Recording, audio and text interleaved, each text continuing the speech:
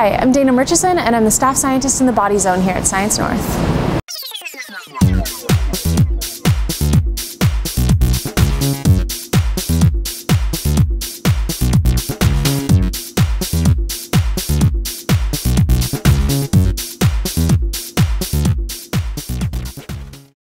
What is your heart used for? To pump blood through your body? Um, your heart circulates your blood throughout your body. My heart's used for pumping blood around my body. Blood around your body. That's wonderful. Yeah. No, what what is your heart good for? Circulation? Circulation of what? Blood. Oh, okay. Oxygen, I guess. And oxygen. Excellent. Uh, to pump your blood. To pump your blood For love.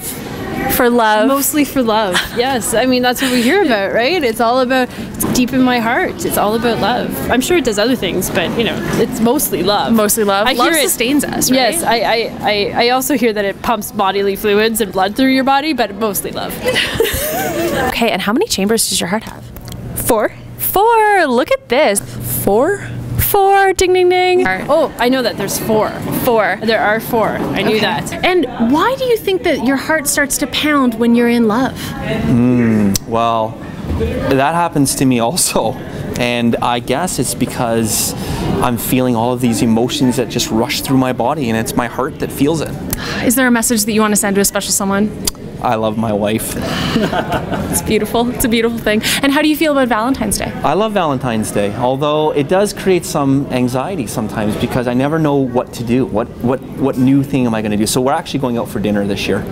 Sounds wonderful. Well, I hope you eat a heart healthy meal. Thanks. Okay. Take care. Bye. So I'm here with Jimmy the skeleton, our Body Zone mascot. So uh, tell me, Jimmy, have you ever had a broken heart?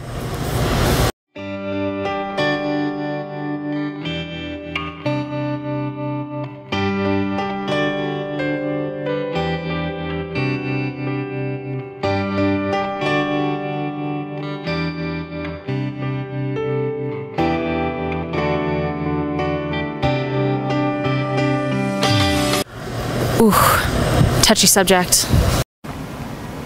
In honor of Valentine's Day, we thought that today we would talk about the science of the heart.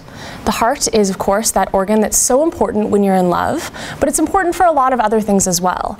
Um, the primary function of the heart is actually to pump your blood around your body. So it brings important things out to all your muscles and tissues, um, things like oxygen and nutrients, and it takes all the wastes away from your cells and tissues and gets rid of them. So those are things like um, byproducts of metabolism and also carbon dioxide, which you breathe out. So today what we're going to do, we're going to talk a little bit about how the heart works. I'm going to show you how blood flows through the heart and how it works like a pump. And we're going to learn about why people thought that it was so important for love. So, to show you where the heart is located in the body, um, we have our friend right here. The heart is located in your chest between your two lungs. It's very carefully nestled in there. Um, and in real life, it's surrounded by kind of a bag, which is called the pericardium. And the pericardium keeps your heart in place, prevents it from jostling too much and getting hurt, because everybody hates a heartbreak, right? So, anyway, here is your heart.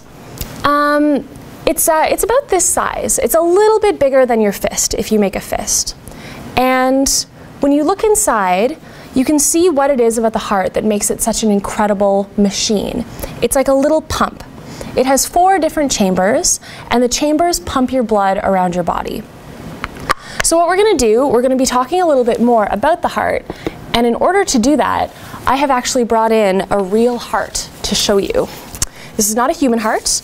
Uh, those are very, very difficult to come by and not a very good idea to use. Um, actually, what this is, is a pig heart. Um, the pig heart is very similar to a human heart, um, but they're a lot easier to use. Uh, no pigs died so that we could do this. Uh, the hearts come from um, places where pigs are killed for meat, so they're kind of byproducts. So you're using up the parts of the animal that aren't normally used. So here's the heart. Um, it's a little bit bigger than a human heart would be, um, but it's actually very, very similar in terms of its shape and the way that it works. Um, so as you can see, the shape is actually sort of similar to the kinds of cartoon hearts that you might draw on your notebooks at school, for example. Um, it has a point at the bottom, and at the top it comes up into this kind of rounded, bulgy shape. The bulgy shape at the top is all of these different blood vessels that come off of the heart and that transport the blood into and out of the heart. So you can kind of see them at the back as well. There's an awful lot of them. They all do different things. Um, that's because the function of the heart is to pump your blood to your lungs and then again to the rest of your body. Um, so the vessels at the top allow it to do that. Inside, if we break the heart open, um, you can see all the different spaces that actually allow the blood to flow through the heart. Uh, there's four different spaces, two atria and two ventricles. So the two atria um, are located at the top of the heart, and the two ventricles are located at the bottom. So the word atrium means a large open space, and that's what the atrium of the heart is. So when the blood flows back from the body, it's uh, lacking in oxygen. It has a lot of waste carbon dioxide. And uh, it also has other waste products that your body wants to be able to get rid of. And it is dumped through two big, big, big veins. It gets dumped back into the right atrium of the heart, which is a big empty space that you can kind of see here. Um, once the blood is in the right atrium, the top of the heart will contract, it'll kind of beat, and it'll push all of the blood down through a valve into what's called the right ventricle. So this is the right ventricle here. You can always remember which ones are the ventricles because they're kind of shaped like V's. They're these spaces at the bottom near the pointy part of the heart. So the blood flows into the right ventricle through a valve, which prevents the blood from going backwards through the heart. And the valve is held in place by these little chordae tendineae, which literally means heartstrings. So when you hear about a movie tugging at your heartstrings, for example, or a very sad story, that's what they're talking about, these little heartstrings right here. So the blood flows into the right ventricle, and then once again, the bottom of the heart will squeeze or contract, and all the blood will be sent out of the heart. It actually gets sent to the two lungs, which are located on either side of the heart. And that's where all the waste carbon dioxide will be removed from the blood, and the oxygen that's very important for your muscles and tissues will be added to the blood. Once that's happened, the blood will come out of the lungs, and through another very special set of blood vessels, it'll get transported into what's known as the left atrium. So the left atrium is basically the same as the right atrium, but on the other side of the heart.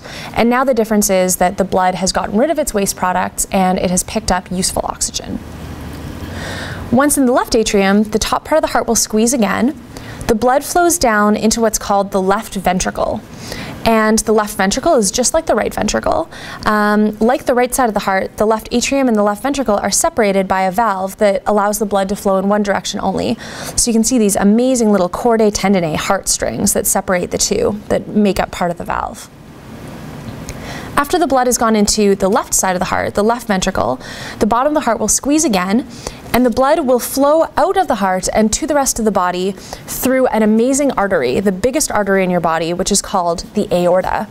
So I'm actually going to stick my finger right into the aorta of this pig heart right here. It's an incredibly, incredibly muscular blood vessel. Um, and that's because it needs to be able to withstand the pressure of all of that blood rushing out of the heart at once. So the aorta comes up and loops around, and there are different uh, arteries that will come off of the aorta that will distribute this oxygenated blood to your whole body. So this one takes blood to your right arm and to the right side of your head and neck and brain. This one goes to the left side of your head, neck, and brain. And there would be another one that would take all the blood to your left arm. Then afterwards, the aorta will loop around and descend down behind the heart, and that would take blood to the whole lower part of your body.